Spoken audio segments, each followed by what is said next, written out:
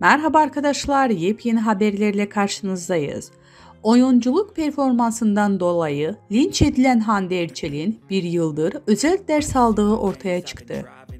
Başrollerinde olduğu Bambaşka Biri dizisindeki performansından dolayı eleştiri yağmuruna tutulan Hande Erçel'in bir yıldır oyunculuk, şan, dizisyon ve beden dili dersleri aldığı ortaya çıktı. Burak Deniz ile Bambaşka Biri dizisinin başrollerini paylaşan Hande Erçel günlerdir oyunculuk performansından dolayı adeten linç ediliyor. Mimiklerinin dolayı eleştirilen oyuncu bir yıldır oyunculuk dersi aldığı ortaya çıktı.